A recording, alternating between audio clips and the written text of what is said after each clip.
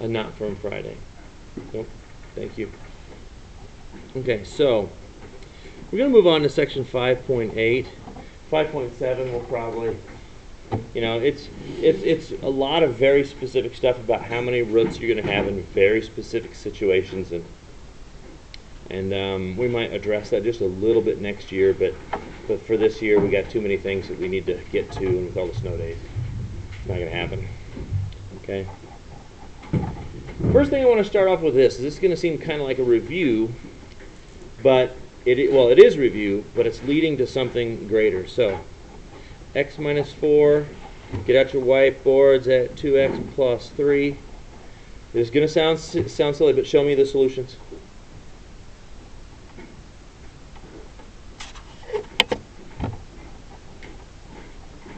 And show me. Should be able to just go boom boom. Bunch of negatives. Yep. Yep. Yep. Yep. Yep. Yep. Mm, uh, the second one's not right. Good. Um, should just have two solutions. So this one right here, we're going to have 4 and negative 3 halves. Okay? Because it's what I can plug in here to make that 0, and negative 3 halves here. Because if you would picture setting this equal to 0, we get 2x equals negative 3, x equals negative 3 halves. Okay? I'm going to beat this like a dead horse for a couple more problems. Okay? 4x plus 7, um, 5x minus 11. Go.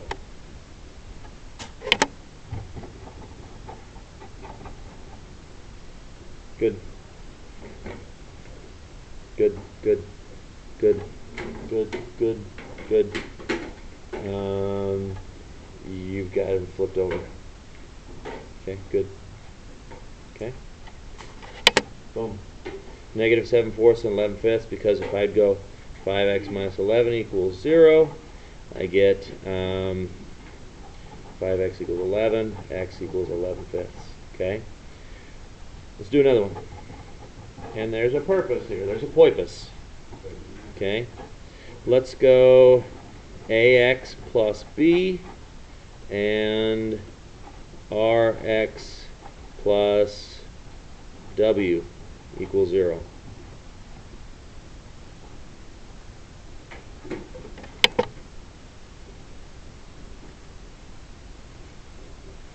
I don't need the x. Good. Good. Don't need the x. Don't need the x. Okay.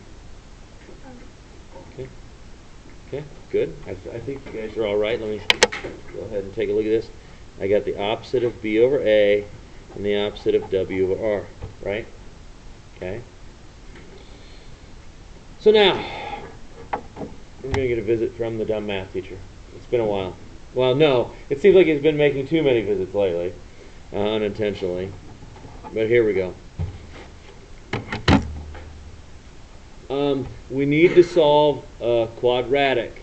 And one of the ways to solve a quadratic is to factor. Okay? So let me show you an example, and then I will ask you to try some on your own. Okay? So I have x squared plus, um, let's go 2x minus 8 equals 0. Okay, so then what you do is you put these parentheses, you put your x and your x, and then you pick a number and you put it here. Okay? Right? What?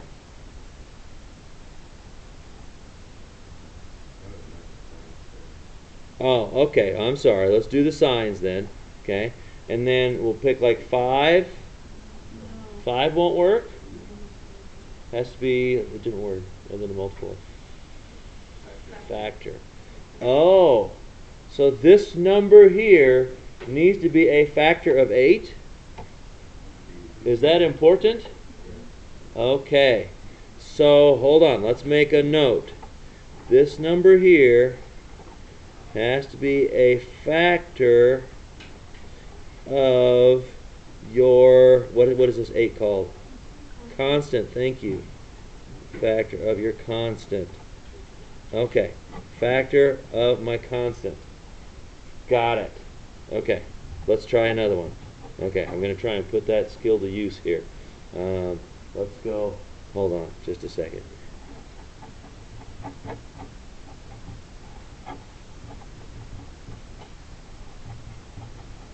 Okay, so so I'm going to go 3x squared minus 13x minus 10. You don't need to write this yet. Hold on. Okay. So I need um, plus and minus since uh, Jim wanted to do the signs first, and then the 10. And what? Okay, hold on. We said that these numbers have to be what? A factor of my constant. Okay, so 5 and 2. Does that go okay for now? Okay, for now. Okay, we'll just try it. And then my other numbers. Let's go 2x and 2. At what? What do mean it has to be 3? Okay, so what's got to be true about this number?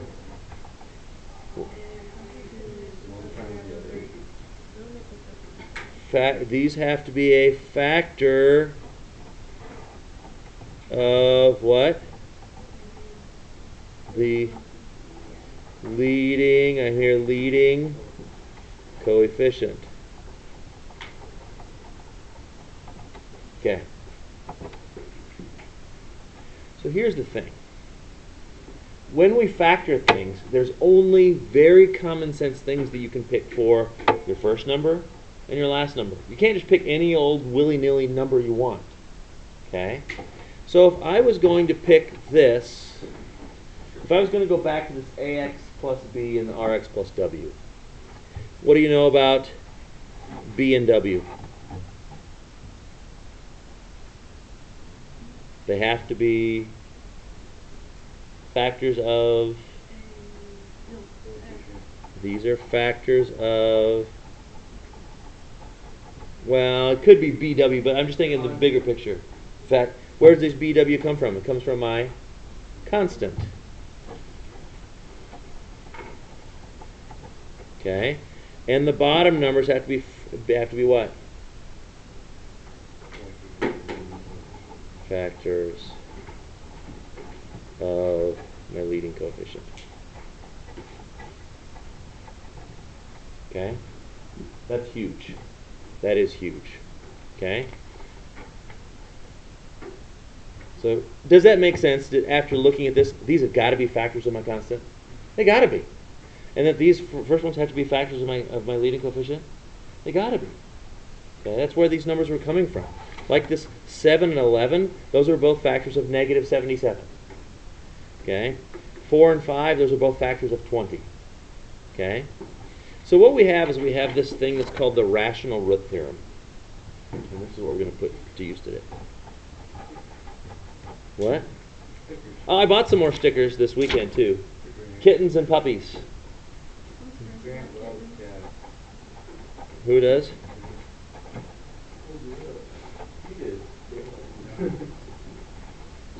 Okay. Rational root theorem says if I've got some polynomial p of x equals, and I'm going to make this really easy. I'm going to make my first, my leading coefficient L. And then my constant C. Okay? Any possible rational root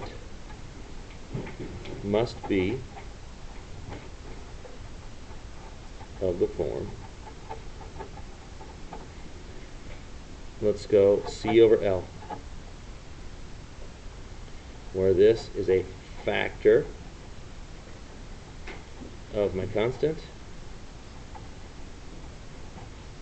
and L factor of my leading coefficient. And for me, there's a very easier way to remember this whenever you're like doing um, construction and say you want to build a doorway or a window or something like that, one of the first things you decide is your center line. And we always mark on there CL. Okay? So constant factors up top, leading coefficient factors on the bottom. Constant factors up top, leading coefficient factors on the bottom. Okay. So here's our job. List all possible rational roots of, we'll start off with this, x, x to the third plus 7x squared minus 10x plus 6. Okay, so here's what we're going to do. I'm going to do this one, uh, well, I, I'll tell you what, let's make this a little harder. Let's put a 5 in the front. So if I'm going to list all my possible factors, well, my factors of 6, where are they? 2 and 3, what else? 1 and 6. What about my 5? 1 and 5. So I've got to make every possible fraction with these on the top, these on the bottom.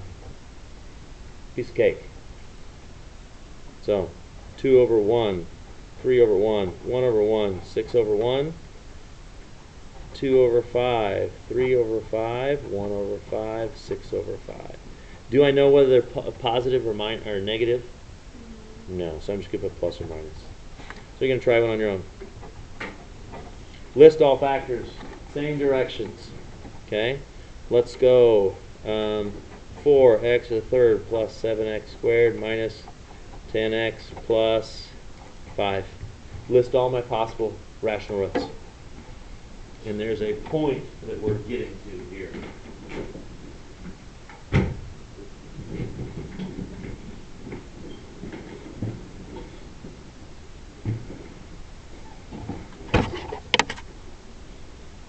Don't show me this because I won't be able to just visually check them all real quick. So um, I don't have like Iron Man vision.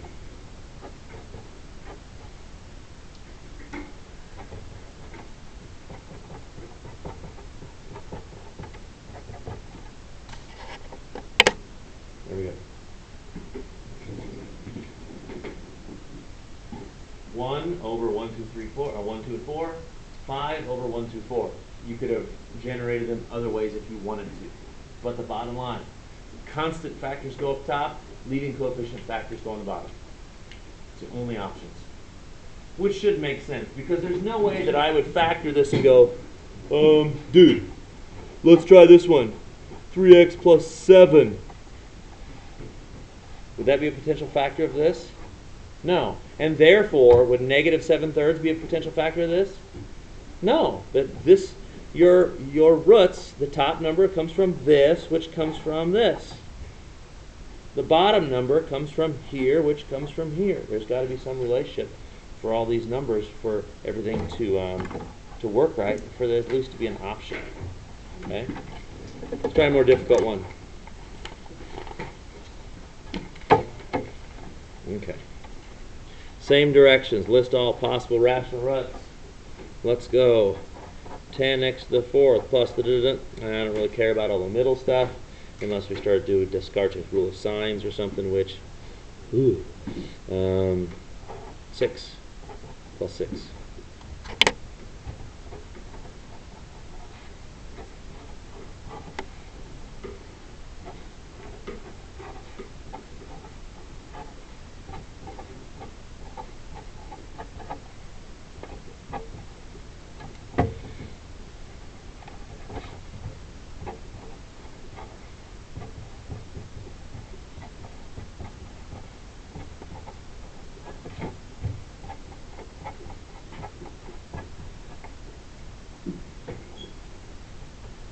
Just a few options on this one. Just a few options.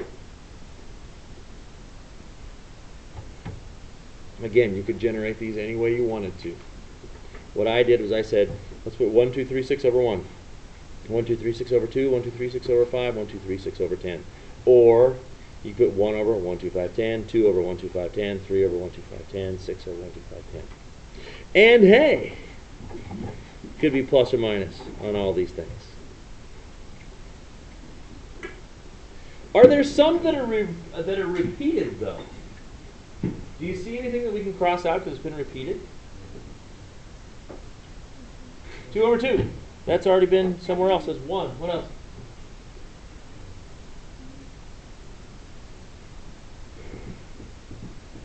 See a couple others. 2 over 10, it's 1 fifth. Okay, so we can cross out that one. Okay? 6 over what? 6 over 10, that's 3 fifths. There you go. What'd you say? No, because 1 fifth is still an option. Uh, 1 fifth is just expressed two different ways.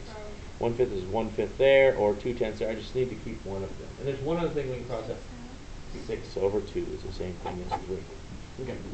So what is our quest here? And actually, this is going to go pretty slick. I'm going to have, I'm going to show you guys different ways of checking to see if it's a root rather than just doing everything by hand over the next few days. Okay. So here's our goal.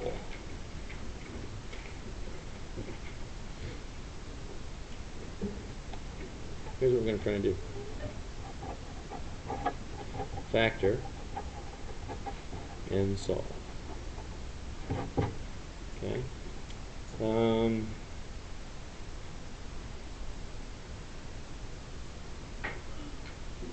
x to the third minus x squared minus 10x minus 8. Before, I would we gave you a starting point. We said, hey, x minus 1 works, or x minus 7 works, or something like that. Right now, we have no idea what works. So here's what I want you to do. I want you to list all your possible rational roots. We should only have eight of them to check. Okay, go ahead and list them. Go ahead and list all your rational roots. And this is this will give you all your possible shelf numbers. Should be just plus minus one, two, four, eight. Okay. So, working together. Pick one of those things, throw it on the shelf, and see if you can get something that has no remainder. So these are your potential rational roots or your shelf numbers. Go ahead, throw something on the shelf and and yell out, "Hey, hey, seven works!" or whatever when it, when you find something. And then we're gonna all love you because you've made our job a lot nicer. Just trial and error at this point.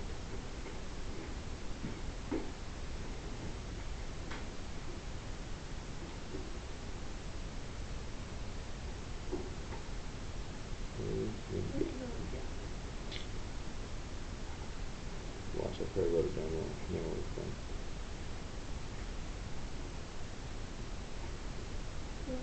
Four works! Hey! Stop where you're at. Four works. Okay, so here we go. So let's throw four on the shelf. One, four, three, twelve, two, eight, zero. Sweet. So now, x minus 4 is a factor. x squared plus 3x plus 2 is the other factor. What's this equation called since it has a lesser degree? Depressed equation. Okay? Maybe all its hair is falling out, or maybe it's gained like 40 pounds since college. You have to throw it on the shelf. You could plug it in too. Thank you. That's what I started. Yeah, you could. You could, he's using what's what's that called when you plug it in?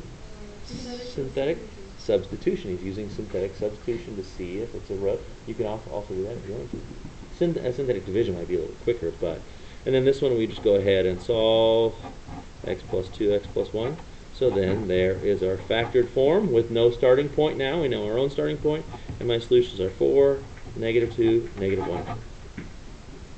Done. Okay, we're going to try another one by hand, and then I'm going to show you the guard Mosman method. Okay. Well, let's see. Let me find one that's going to work real nice for us.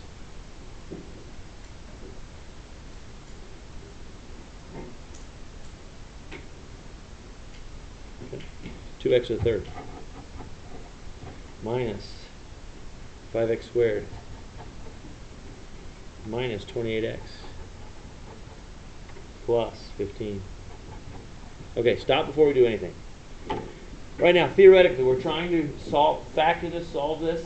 And the reason why we have to do this, because we don't have a cubic formula.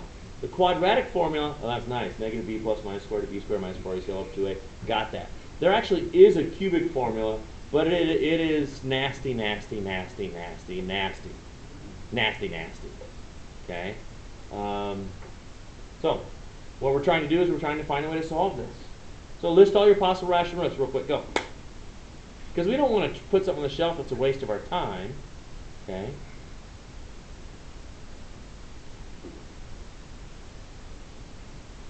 And I'm going to grab my computer.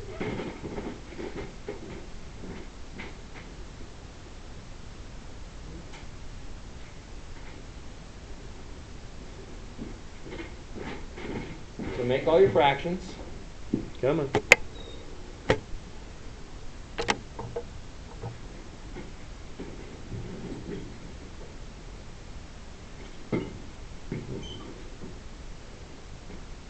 Um, what did I- Sheets. Oh, that's right, I had to shut down my computer.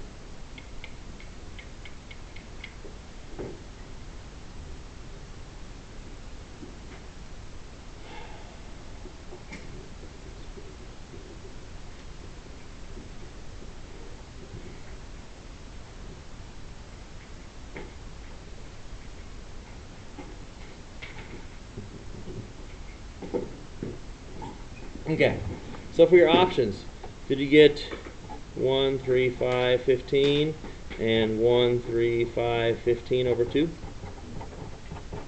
Okay, so let me make sure it factors first. Yes, factors nice. Go.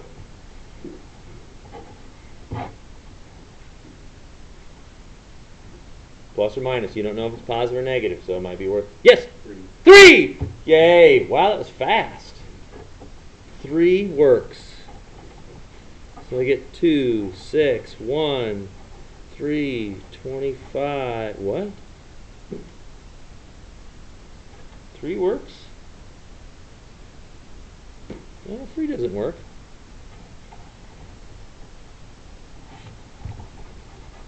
I'm not getting three to work.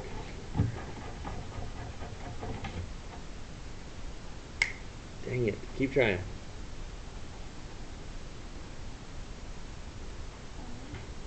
Five? Double check this. Five works. Negative three works. Five and three. Okay. So two, ten, five, twenty-five, negative three, negative fifteen, zero. So now from this five, I get an x minus five. I don't know. That's a good question. I, So now I can go ahead and factor this, of course, using my logical methods here. And I've got three and one. Um,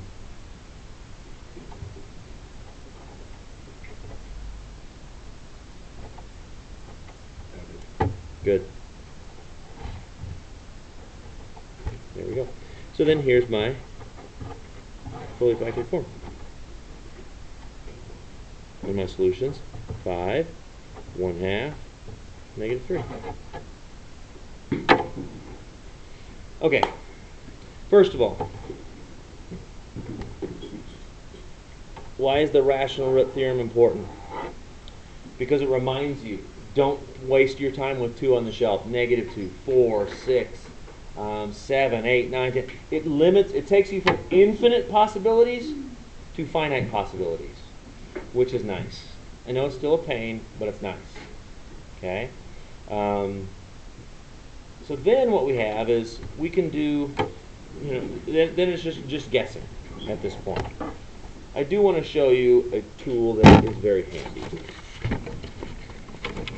Elizabeth and Caitlin, you guys remember the extra credit you did?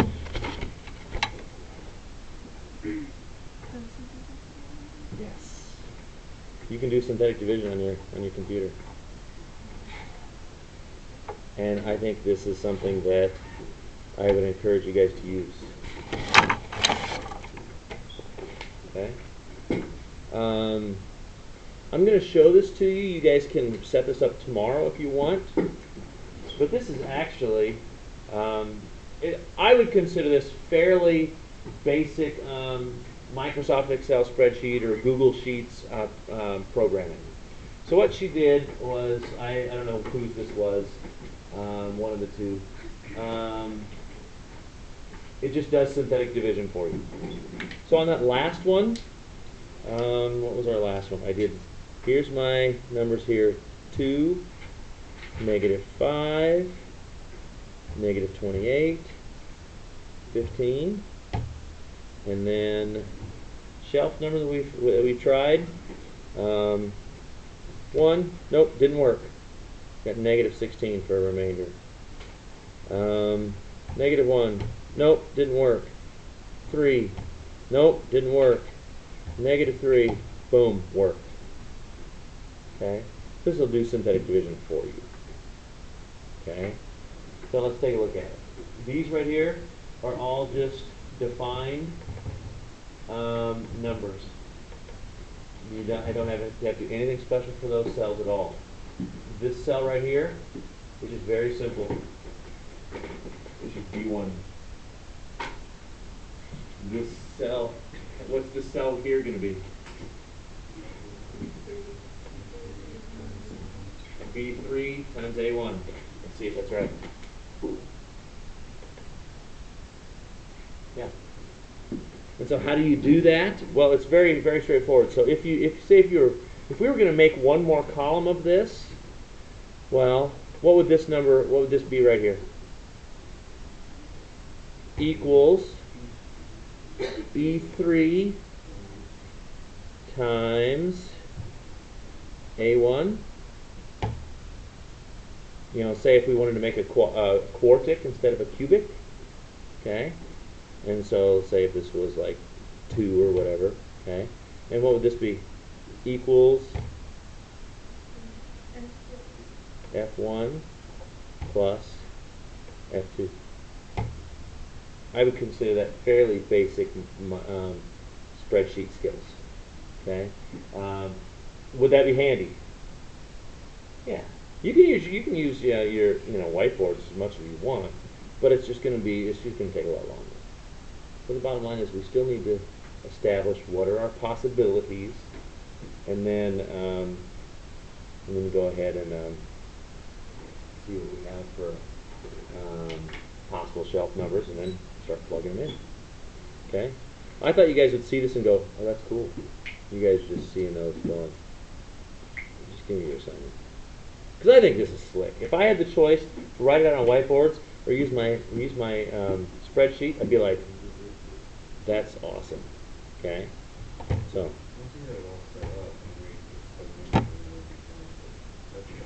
Setup's not going to be that bad. Be- be- be- Because right now, all you have to do to all you have to do is define one, two, three, four, five, six, seven cells.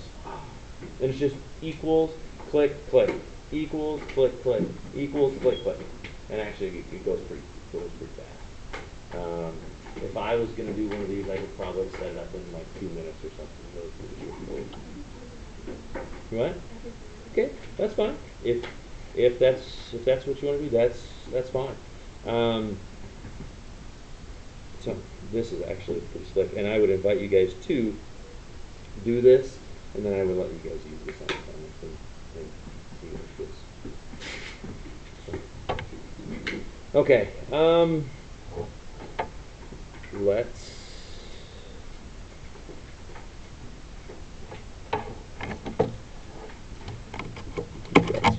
You guys are so hard to predict sometimes. It's funny. Okay. Um,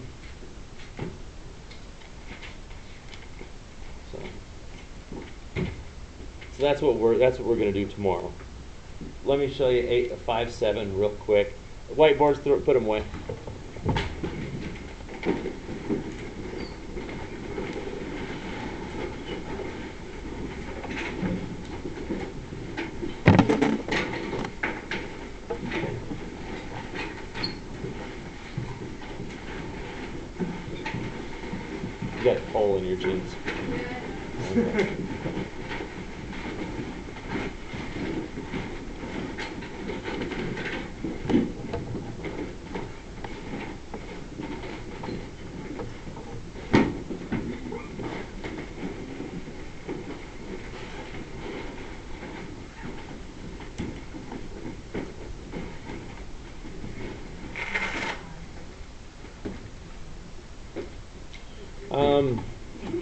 Going to show you something here real quick.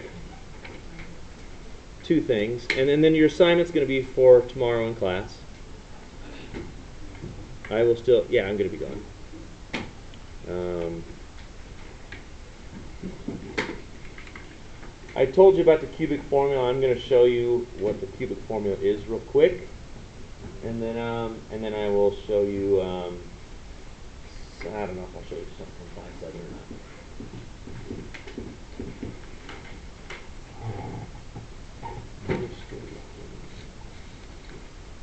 There's the cubic formula. x equals the cube root of the quantity negative b to the third over 27 a to the third plus bc over 6a squared minus d over 2a. da-da-da, da-da, da-da, da-da, da-da, da-da, da-da, da-da. And this is the first part plus second part minus b over 3a. So you get your choice. You can either memorize this formula or know what the rational root theorem is and throw some things in the shell. Isn't this crazy? Sorry, not interested. Yeah, this is this is this is. A, I mean, I think that's amazing. Yeah.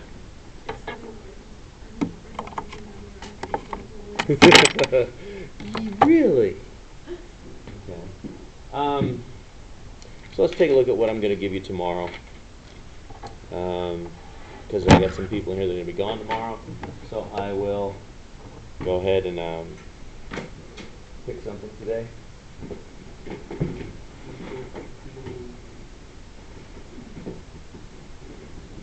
I'll just write it up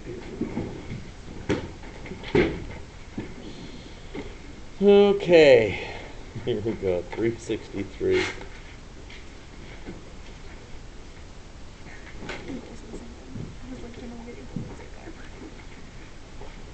Okay.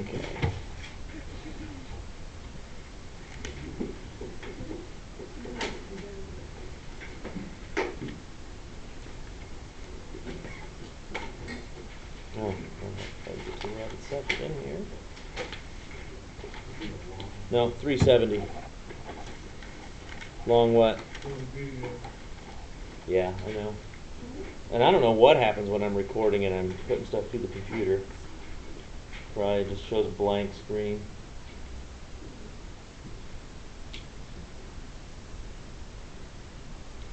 Let's go 13, 15. 13, 15 are just list the possible roots only. You do not have to go ahead and factor that.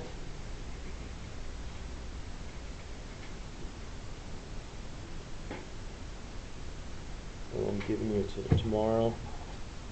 So I'll do 19 through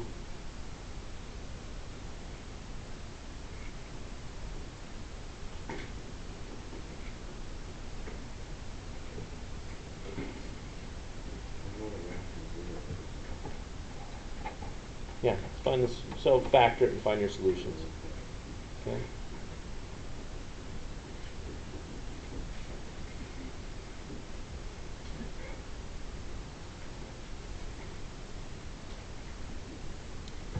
19 through 31 and 36.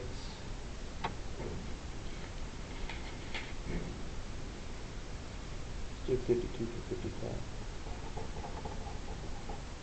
That's to do during class tomorrow. Um, you're going to be gone for teams tomorrow, let me modify the 19 through 31. You get, you can just do odds on the 19 through 31. Because trust me, your brain's going to hurt enough tomorrow that um, that's sufficient. Teams at UNL.